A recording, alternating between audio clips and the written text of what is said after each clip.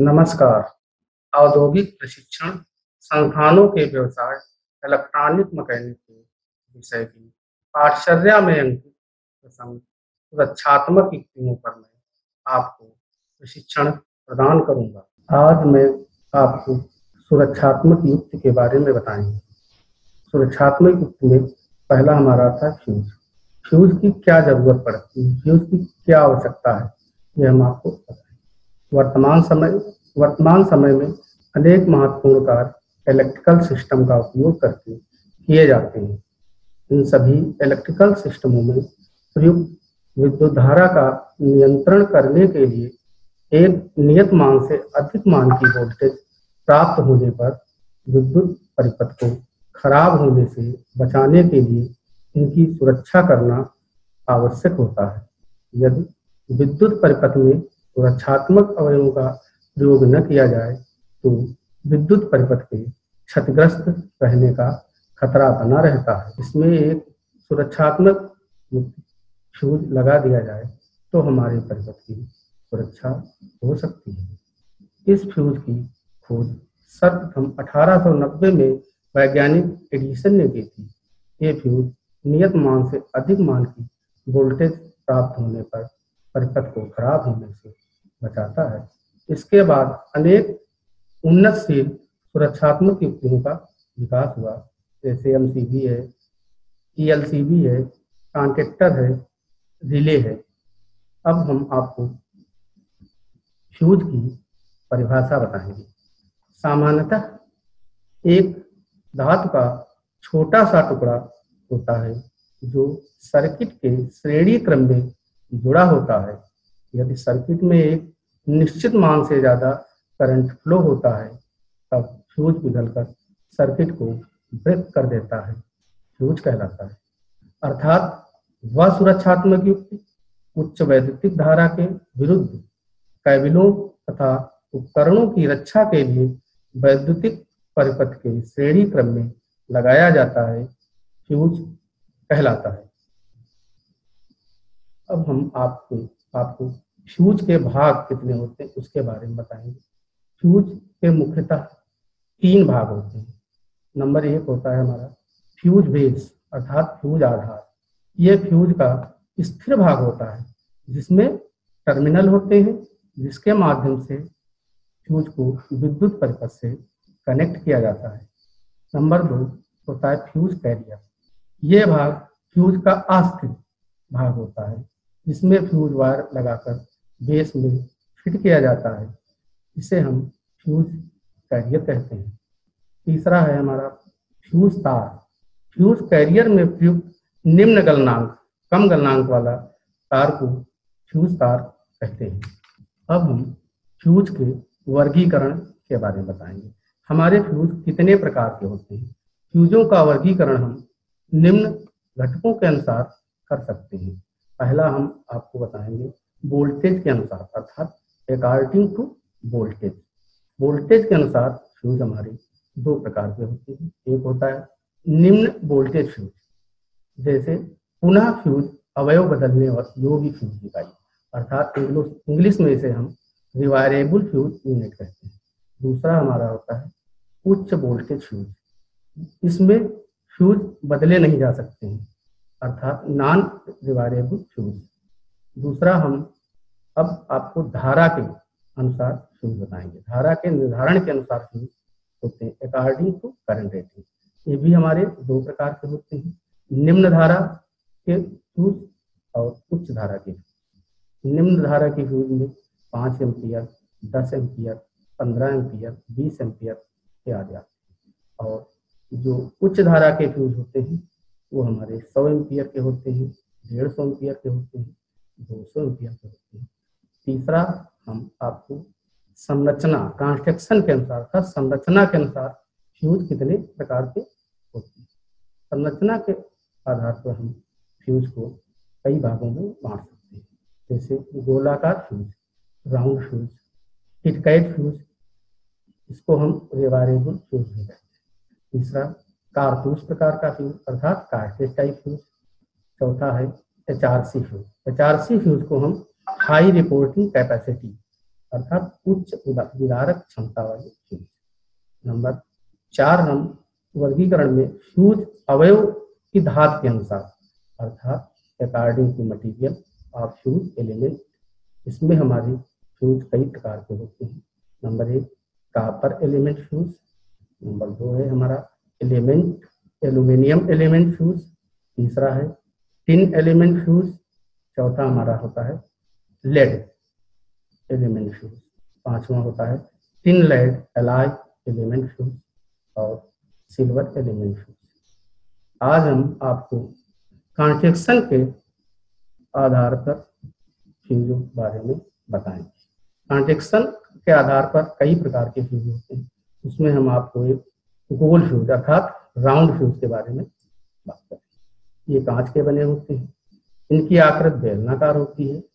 इनका प्रयोग विद्युत उपकरणों में फ्यूज के रूप में लिया जाता है। ये दोनों तरफ़, इनके दोनों तरफ़ में कैप लगी होती है और कांच के अंदर फ्यूज तार फिट रहता है। फ्यूज तार खराब होने पर हमारा पूरा फ्यूज बदलना पड़ता है। इस फ्यूज की कैप में एक थ्रेड बनी होती है, जिसकी सहायता से हम विद्युत उपकरणों में इस फ्यूज को लगा सकते हैं। ये फ्यूज हमारे चार एम्पियर टू एम्पियर, पाँच एम्पियर, दस एम्पियर तक के आते हैं। और इन फ्यूजों का प्रयोग हम यूपीएस में इन्वर्टर आदि में कर सकते हैं। दूसरा फ्यूज हमारा आता है किट कैट फ्यूज इसको हम रिवायरेबल फ्यूज भी कहते हैं। किट कैट फ्यूज इकाई के दो भाग होते हैं। प्रथम भाग को हम फ्यूज आधार फ्यूज बेस कहते हैं। और द्वितीय भाग को हम फ्यूज वाहक अर्थात फ्यूज कैरियर कहते हैं। दोनों भाग एक साथ मिलकर किट कैट फ्यूज कहलाते हैं। ये दोनों भाग विद्युत रोधी पदार्थ पोर्सलिन से बने होते हैं। इनकी वैद्युतिक संस्थापन, संस्थापक के विवरण, वितरण बोर्ड अथवा मीटर बोर्ड पर लगाए जाते हैं। इनके निचले भाग अर्थात फ्यूज आधार के एक और टर्मिनल के साथ इनपुट फ़ेज़ को जोड़ते हैं तथा दूसरी ओर टर्मिनल के आउटपुट फ़ेज़ संयोजित करते हैं। फ्यूज वाहक के दोनों टर्मिनलों के मध्य फ्यूज अवयव अर्थात फ्यूज एलिमेंट लगाया जाता है। फ्यूज वाहक के दोनों टर्मिनलों के साथ यू आकार का एक संपर्क लगा होता है, जो फ्यूज के आधार टर्मिनलों के साथ कमानीदार संपर्कों से मजबूती से लगाया जाता है। किटकैट का फ्यूज वर्तमान समय में घरेलू तथा विद्युत शक्ति या फैक्ट्रियों में उपयोग अत्यधिक होता है। किटकैट फ्यूज इकाई में फ्यूज तार को बदलने के लिए मुख्य स्विच ऑफ़ करने की आवश्यकता नहीं पड़ती है। तथा इस फ्यूज में जो एलिमेंट हमारा लगता है, वो थिन रेटेड अर्थात कापर तार का होता है। अब हम इस फ्यूज लगाने के, इस फ्यूज के हम लाभ बताएँगे। इस फ्यूज को लगाने के क्या लाभ हैं? ये ये फ्यूज पहला हमारा लाभ ये होता है, इसे सावधानी पूर्वक स्विच ऑन की स्थिति में ही निकाला हुआ लगाया जा सकता है। दूसरा, फ्यूज एलिमेंट अर्थात फ्यूज तार को बदलने में लागत कास्ट जो है बहुत ही कम आती है।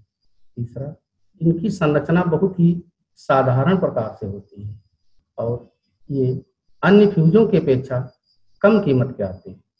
नंबर, और अगला पॉइंट है पिघले पिघले हुए फ्यूज का स्थानांतरण करने के बाद पुनः इसे काम में लाया जा सकता है। और इसकी एक हानि यह है इस टाइप के फ्यूज ब्रेकिंग कैपेसिटी कम होती है, अतः इन्हें हाई फॉल्ट की स्थिति में उपयोग नहीं किया जा सकता है। अब हम आपको अगला फ्यूज हम बताएँगे। उच्च विदारक क्षमता वाले फ्यूज, अर्थात हाई रिपोर्टिंग कैपेसिटी अर्थात एच आर सी फ्यूज। इन एच आर सी फ्यूज की उच्च विदारक क्षमता छाछठ के बी से 500 मेगा वोल्ट एम्पियर तक होती है। इसलिए इन्हें हम उच्च विदारक क्षमता वाले फ्यूज कहते हैं। इनकी मुख्य विशेषता यह है कि ये शॉर्ट सर्किट जब फॉल्ट होता है तो इसके अंतर्गत एक निश्चित समय तक उच्चतम विद्युत धारा प्रवाह की क्षमता रखते हैं। यदि निश्चित समय के अंतर्गत शॉर्ट सर्किट स्वतः ठीक हो जाता है तो फ्यूज पिघल कर नष्ट नहीं होता है। परंतु यदि फॉल्ट ठीक नहीं होता है तो ये फ्यूज पिघल कर नष्ट हो जाते हैं। इस प्रकार के परिपथ में विद्युत धारा का मान शून्य हो जाता है और इसका इसका कॉन्ट्रेक्शन के हिसाब से इसका बाह्य आवरण बेलनाकार नली विद्युत रोधी पदार्थ कांच अथवा टाइप से बनाए जाते हैं। इसमें फ्यूज एलिमेंट चांदी के तार का प्रयोग होता है तथा विद्युत रोधी नली के दोनों सिरों पर पीतल की टूटी से पूर्णतः एयर टाइट अर्थात वायु रोधी सील बंद होते हैं। इन पीतल की टोपियों के टोपियों के द्वारा ही नली के भीतर की ओर चांदी की पत्ती का फ्यूज एलिमेंट में जुड़ा रहता है। एच आर सी फ्यूज के लाभ क्या है हमारे? इसकी ऑपरेशन स्पीड बहुत ही हाई होती है।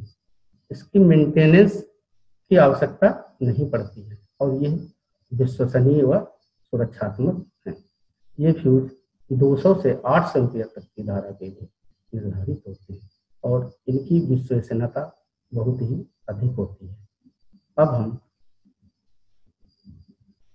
आपको कार्टिज फ्यूज के बारे में बताएँगे। कार्टिज फ्यूज क्या होते हैं? इस फ्यूज की संरचना कम वोल्टेज वाले कारतूस फ्यूज अर्थात कार्टून फ्यूज के समान ही होती है। इस फ्यूज के डिज़ाइन में हम बदलाव करके हम उच्च वोल्टेज का फ्यूज बना सकते हैं। जैसे फ्यूज की एलिमेंट में हेलेक्स फार्म में डिज़ाइन करके उच्च वोल्टेज सिस्टम के लिए उपयोग कर सकते हैं। इसमें दो फ्यूज तारों को समांतर क्रम में लगाकर, जिसमें एक कम प्रतिरोध का तार अर्थात सिल्वर का वायर लगाते हैं।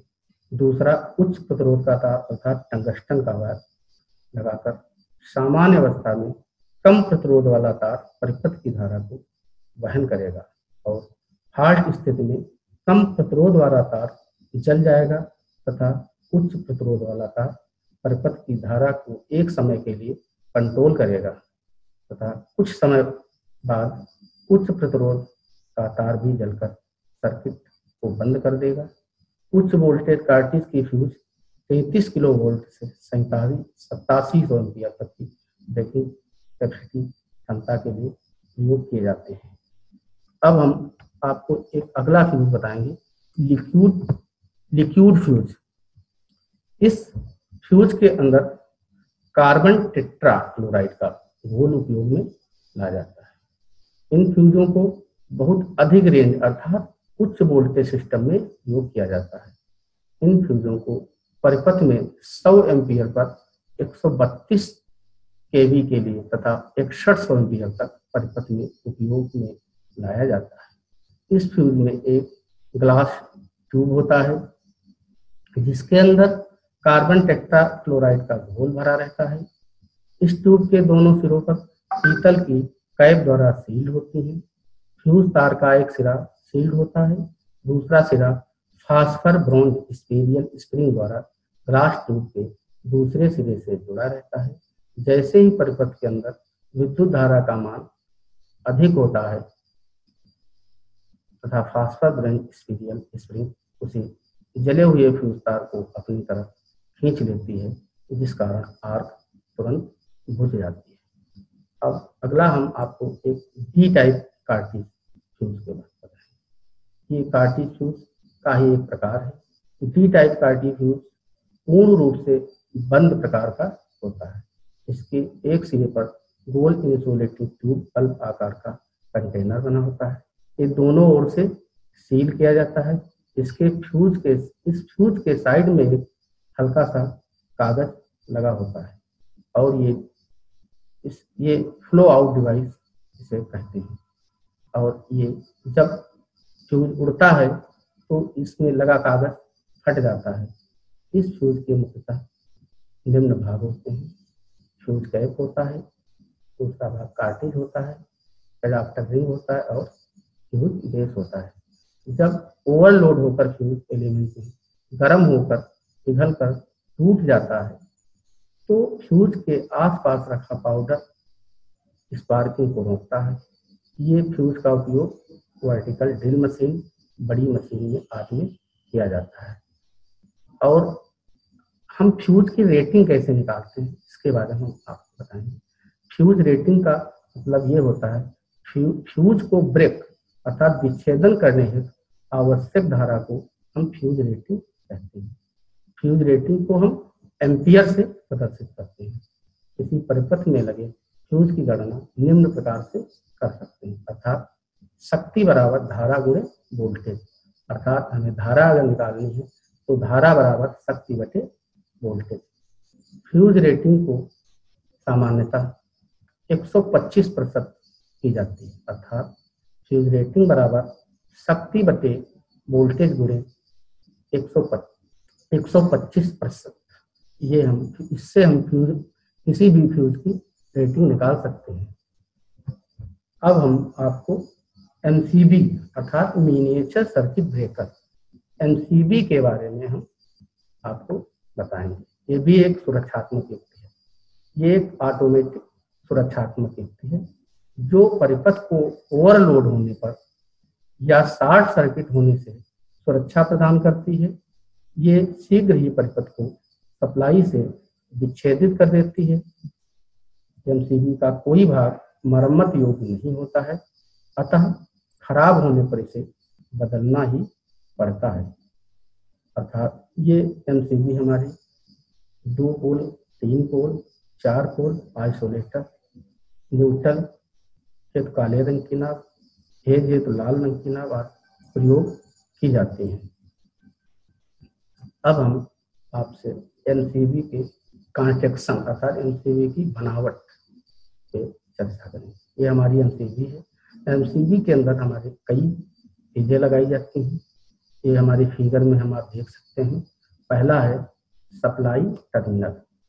सप्लाई टर्मिनल अर्थात इसमें दो टर्मिनल होते हैं। सप्लाई एक इनपुट टर्मिनल होता है और एक आउटपुट टर्मिनल होता है। सप्लाई हम हमेशा इनपुट टर्मिनल को दी जाती है। दूसरा हमारा होता है arc chamber, arc tube chamber.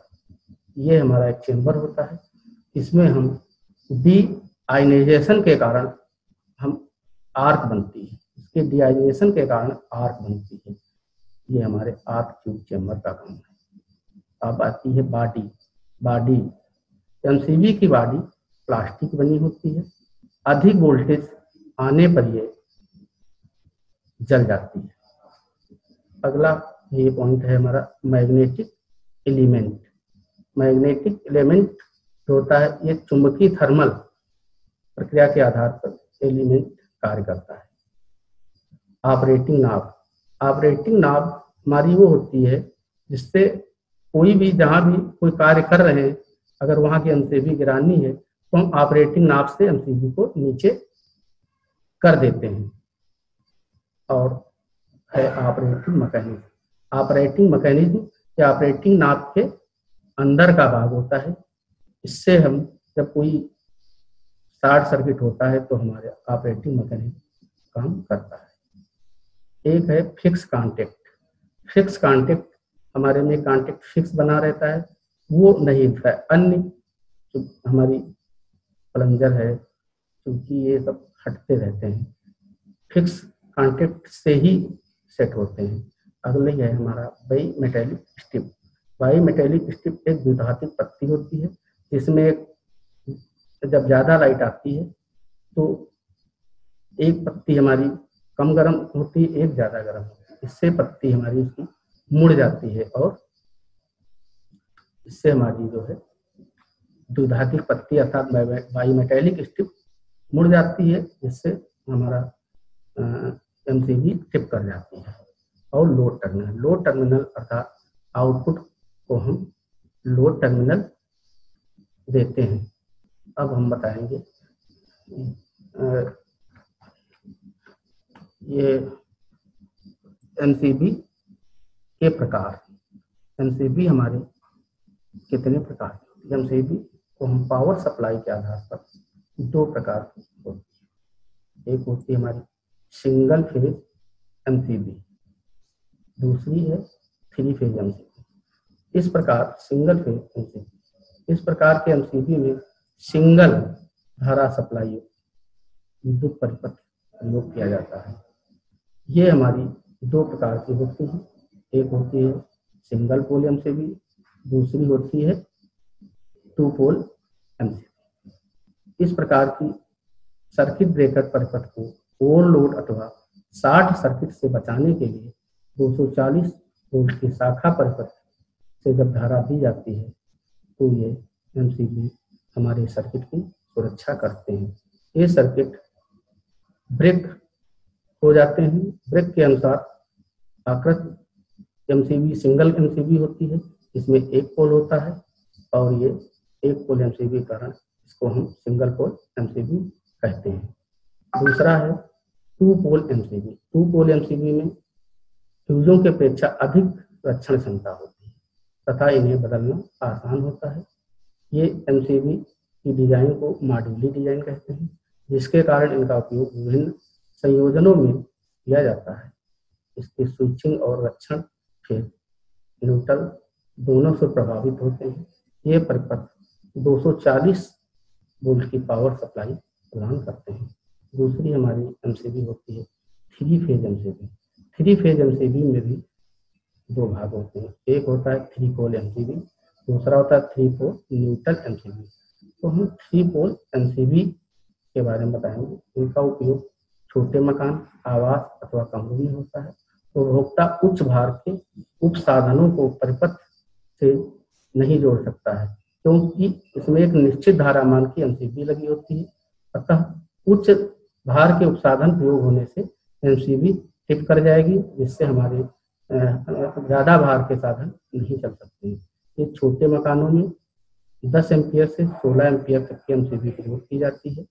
इसमें स्विचिंग तथा रक्षण के लिए फेजों में प्रभावित होती है। इसमें न्यूट्रल नहीं होती है। ये एमसीबी 0.5 एम्पियर से तिरपन एम्पियर तक बनते हैं। इनका प्रयोग मिक्सर, हीटर, पंप ग्राइडर, सभी लाइट परिपथों में सुरक्षा हेतु प्रयोग किया जाता है। दूसरी है थ्री पोल और न्यूट्रल एमसीबी इसमें चार पोल होते हैं। इसके लिए एक पोल न्यूट्रल तार के कनेक्शन के लिए प्रयुक्त होता है। शेष तीन पोल फेस तार से जोड़े जाते हैं। न्यूट्रल केवल एक आइसोलेटिंग पोल होता है। इसमें रक्षण के लिए केवल तीन फ़ेज़ ही प्रयोग होते हैं। अब हम एमसीबी के लगाने से क्या लाभ होते हैं एमसीबी के? लाभ के बारे में बात करेंगे। एमसीबी से दोषपूर्ण संकेत, सर्किट को आसानी से ढूंढ सकते हैं। दूसरा है, एमसीबी का इस्तेमाल फ्यूज की अपेक्षा ज़्यादा सुरक्षित होता है। और एमसीबी की आपूर्ति को हम जल्दी बहाल कर सकते हैं, क्योंकि जहाँ पे फॉल्ट आती है तो एमसीबी फॉल्ट आ जाती है। एमसीबी गिर जाती है, जिससे हम फॉल्ट को आसानी से ढूंढ सकते हैं। और चौथा है एमसीबी एक ऑटोमेटिक ऑटोमेटिकली स्विच ऑफ़ होने वाला सर्किट है, जो कि सर्किट में ओवरलोड या शार्ट सर्किट होने पर एमसीबी गिर जाती है। और ये सुविधा हमारे फ्यूज के अपेक्षा तेज़ी से कार्य करती है, जबकि ये सुविधा हमारे फ्यूज में नहीं होती। और पांचवा पॉइंट है एमसीबी के टिप हो जाने के बाद पुनः हम ऑन कर सकते हैं। लेकिन फ्यूज को अगर जल जाता है तो उसको हम दोबारा बदलना ही पड़ता है। अब हमारी एमसीबी के प्रयोग। कहाँ पे हम कौन सी एमसीबी प्रयोग कर सकते हैं? हमारी एमसीबी प्रयोग करने के लिए लाइटिंग परिपथ। अगर लाइट परिपथ के लिए प्रयोग करना है तो लाइट परिपथ के लिए हरे नाव की एमसीबी का प्रयोग करते हैं। दूसरा, अगर मोटर परिपथ के लिए एमसीबी का प्रयोग करना है तो नीले रंग की नाप वाली एमसीबी का ही प्रयोग करते हैं। तीसरा है डीसी मोटर या डीसी परिपथ के लिए काले रंग की नाव वाली एमसीबी का प्रयोग करते हैं। और आइसोलेटर के लिए हम लाल रंग की नाव वाली एमसीबी प्रयोग करते हैं। अब हम आपको एमसीबी की क्या विशेषताएँ होती है एमसीबी, हमारी एमसीबी में प्रयोग करने में ये कुछ विशेषताएँ होती हैं जिनको ध्यान रखकर एम एमसीबी प्रयोग की जाती है। हमारी एमसीबी 240 वोल्ट से 415 वोल्ट एसी तथा 50 हर्ट फ्रिक्वेंसी पर कार्य करती है। एमसीबी हमारी कई रेटिंग में पाई जाती है, जैसे 0.5 एम्पियर से तीन एम्पियर, चार एम्पियर, पाँच एम्पियर, दस एम्पियर सोलह एम्पियर और तिरसठ एम्पियर तक पाई जाती है। और एमसीबी हमारी पोलों के आधार पर तीन प्रकार की होती है। सिंगल पोल होती है, टू पोल होती है और थ्री पोल होती है। और एमसीबी अगर श्रेणियों के आधार पर देखा जाए तो एमसीबी हमारी में तीन सीरीज़ होती हैं।